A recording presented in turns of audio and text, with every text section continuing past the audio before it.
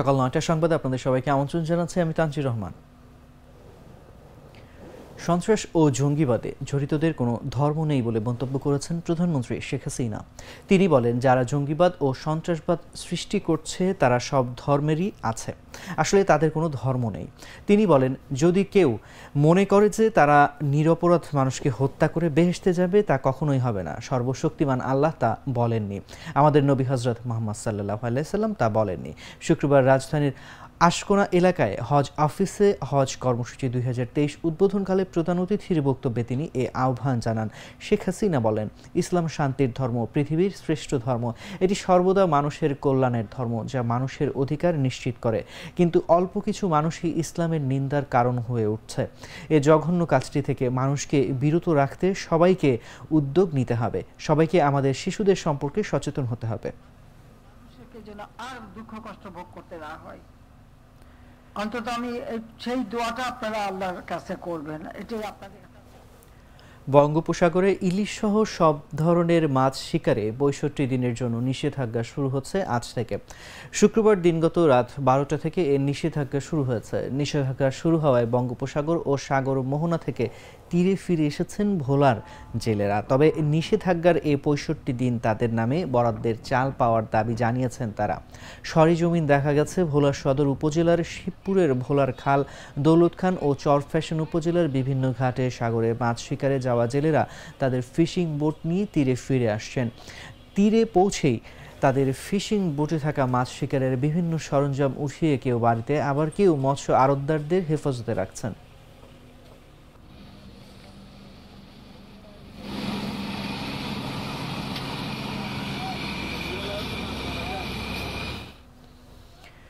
বর্ষার আগে এবার মুন্সীগঞ্জের লৌহজং উপজেলায় পদ্মা নদীর তীরে ভাঙন দেখা দিয়েছে। অসময়ের এই ভাঙনে গত কয়েকদিনে উপজেলার গাউদিয়া বড় নওগাঁও, সুন্দিসার, বেজগাঁও, লৌহজং, তেউটিয়া সহ বিভিন্ন গ্রামে বিলীন হয়েছে।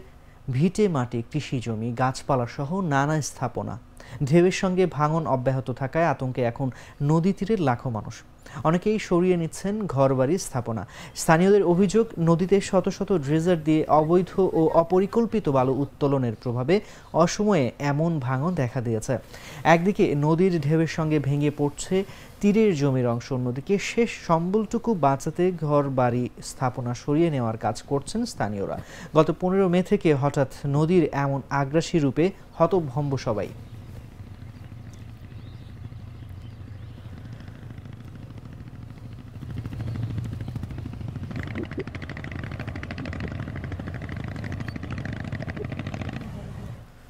শেখ হাসিনার সরকার হঠাতে বিএনপি টাকা ছড়াচ্ছে বলে মন্তব্য করেছেন আওয়ামী লীগের সাধারণ সম্পাদক এবং সড়ক পরিবহন ও সেতুমন্ত্রী ওবায়দুল কাদের। তিনি বলেন, বিএনপি বিদেশিদের কাছে নালিশ করছে, লবিং করছে, টাকা ছড়াচ্ছে। তাদের ষড়যন্ত্রের মূল লক্ষ্য শেখ হাসিনাকে হটিয়ে দেওয়া। শুক্রবার রাজধানীর বঙ্গবন্ধু অ্যাভিনিউয়ে আয়োজিত শান্তি সমাবেশে প্রধান অতিথির বক্তব্যে তিনি কথা বলেন। বিএনপি পদযাত্রার আড়ালে সহিংসতা ও অগ্নি সন্ত্রাসের প্রস্তুতি নিচ্ছে অভিযোগ করে আওয়ামী লীগের সাধারণ সম্পাদক বলেন, গুলশানে বিএনপি গুজবের কারখানা চালু করেছে। এখান থেকে সারা দেশে শেখ হাসিনার বিরুদ্ধে অসাম্প্রদায়িকতার বিরুদ্ধে গুজব ছড়ানো হচ্ছে। সংলাপ করার জন্য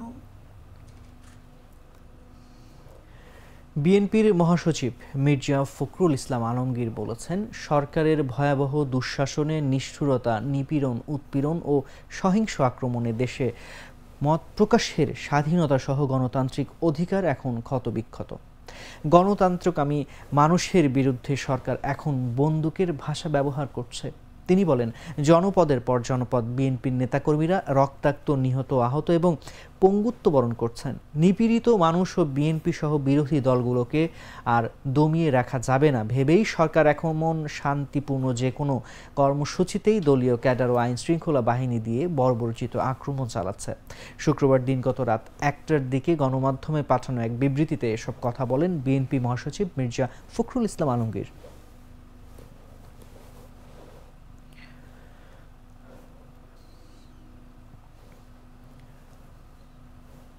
র্যাপিড অ্যাকশন ব্যাটালিয়নের মহাপরিচালক এম খুরশিদ হোসেনের চাকরির মেয়াদ শেষ হচ্ছে আগামী চার জুন, তবে আরও এক বছর তার চাকরির মেয়াদ বাড়ানো হচ্ছে। থাকছেন র্যাব ডিজির দায়িত্বেও। সরকারের উচ্চ পর্যায়ে এমন সিদ্ধান্ত হওয়ার পর সব ধরনের আনুষ্ঠানিকতা শুরু হয়েছে। খুরশিদ হোসেনকে শপদে বহাল রাখার বিষয়টি অনুমোদন করেছেন প্রধানমন্ত্রী। সব কাগজপত্র তৈরি করেছে স্বরাষ্ট্র মন্ত্রণালয়। আগামী সপ্তাহের যে কোনো দিন তার চাকরির মেয়াদ বাড়িয়ে শপদে বহাল রাখার বিষয়টি মন্ত্রণালয় থেকে প্রজ্ঞাপন আকারে জারি করা হতে পারে। দুই হাজার বাইশ সালের তিরিশ সেপ্টেম্বর র্যাবের নবম মহাপরিচালক হিসেবে দায়িত্ব পান খুরশিদ হোসেন। চলতি বছরের আঠাশ ফেব্রুয়ারি তিনি গ্রেড এক পদে পদোন্নতি পান।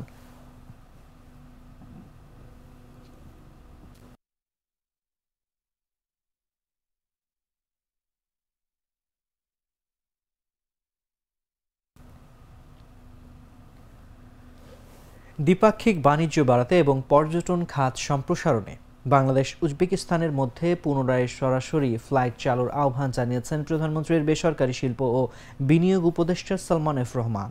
শুক্রবার গুলশানে উজবেকিস্তানের উপ পররাষ্ট্রমন্ত্রী বাহরম আল এভের নেতৃত্বে এক প্রতিনিধি দল সাক্ষাৎ করতে আসলে তিনি এ আহ্বান জানান। সাক্ষাৎকালে উজবেকিস্তানের উপপরাষ্ট্রমন্ত্রী কে সালমান এফ রহমান বলেন, বাংলাদেশ, উজবেকিস্তান সরাসরি ফ্লাইট চালু এবং ভিসা সহজ করা হলে দুই দেশের ব্যবসায়ীরা সফর করে বিনিয়োগের ক্ষেত্রে বের করতে পারবেন। সরকার টু সরকারের পাশাপাশি ব্যবসায়ী টু ব্যবসায়ী যোগাযোগ বাড়বে। একই সঙ্গে দুই দেশের ব্যবসা বাণিজ্য সহ সামগ্রিক সুবিধার জন্য সম্ভাব্য ক্ষেত্র খুঁজে বের করে দ্বিপাক্ষিক সম্পর্ক জোরদারের উপর গুরুত্বারোপ করেন তিনি।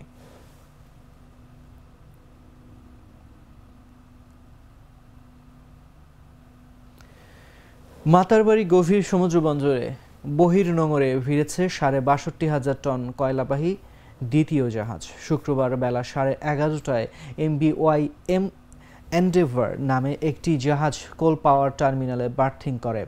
হংকংয়ের পতাকাবাহী জাহাজটি বাষট্টি হাজার পাঁচশো টন কয়লা নিয়ে ইন্দোনেশিয়ার পেদাং বন্দর থেকে মাতার বাড়িতে আসে।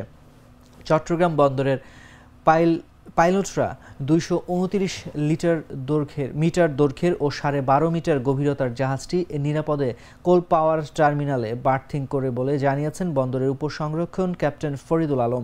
এর আগে গত পঁচিশ এপ্রিল সাতষট্টি হাজার টন কয়লা নিয়ে প্রথম জাহাজ হিসেবে এমভি ঔস মারো মাতারবাড়ি কোল পাওয়ার টার্মিনালে ভেড়ে কয়লা খালাসের পর গত সাত মে ওই জাহাজটি মাতারবাড়ি ছেড়ে যায়।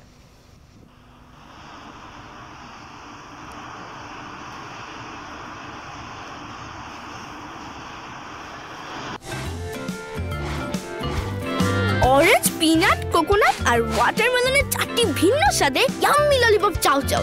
মুখে দাও মাথা খাটাও। ভারতের বাজার থেকে দুই হাজার রুপির নোট তুলে নেওয়ার ঘোষণা দিয়েছে দেশটির কেন্দ্রীয় ব্যাংক। তেইশ মে থেকে তিরিশ সেপ্টেম্বরের মধ্যে এই নোট ব্যাংকে জমা দিয়ে সমপরিমাণ রুপি নিতে বলা হয়েছে। শুক্রবার রিজার্ভ ব্যাংক অফ ইন্ডিয়া এই ঘোষণা দেয়। রিজার্ভ ব্যাংক অফ ইন্ডিয়ার উনিশটি আঞ্চলিক শাখায় এ নোট জমা দিয়ে কম মূল্যমানের মোট নোট দিয়ে সমপরিমাণ অর্থ নেওয়া যাবে। তেইশ মে থেকে এ প্রক্রিয়া শুরু হবে। দুই হাজার ষোলো সালে আট নভেম্বর দিনগত রাতে পঞ্চাশ ও এক হাজার রুপির নোট বাতিল করেছিল নরেন্দ্র মোদীর সরকার। বিষয়টি নিয়ে দেশজুড়ে শোরগোল পড়ে গিয়েছিল। এ নিয়ে সরগরম হয়েছিল জাতীয় রাজনীতি। সাত বছরের মাথায় এবার দুই হাজার রুপির নোট তুলে দিচ্ছে এই সরকার।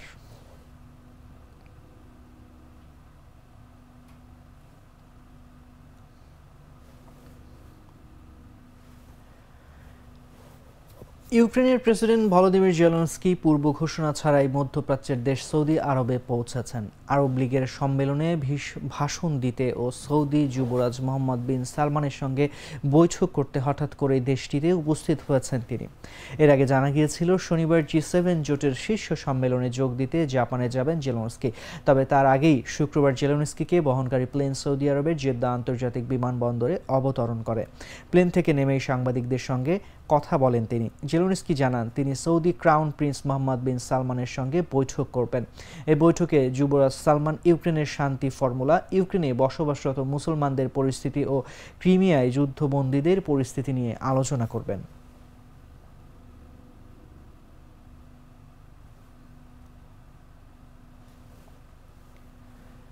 এবার থাকছে খেলার সংবাদ। বাংলাদেশ টেনিস ফেডারেশনের ব্যবস্থাপনায় রমনার শেখ জামাল জাতীয় টেনিস কমপ্লেক্সে চলতি আইটিএফ এশিয়া অনূর্ধ্ব বারো দলগত প্রতিযোগিতার দক্ষিণ এশিয়া আঞ্চলিক কোয়ালিফাইং রাউন্ড টপকিয়ে বাংলাদেশ বালক দল চূড়ান্ত পর্বে খেলার যোগ্যতা অর্জন করেছে। শুক্রবার চতুর্থ দিনের খেলায় বাংলাদেশ বালক দল তিন শূন্য ব্যবধানে ভুটানকে পরাজিত করে কাজাকস্তানের অনুষ্ঠেয় এশিয়ান ফাইনাল রাউন্ডে খেলার টিকিট নিশ্চিত করেছেন। শনিবার রাউন্ড রবিন লিগের শেষ খেলায় বালক দল ভারতের বিপক্ষে প্রতিদ্বন্দ্বিতা করবে। ভারত ও বাংলাদেশ বালক দল চারটি ম্যাচ খেলে সবকটি জিতেছে।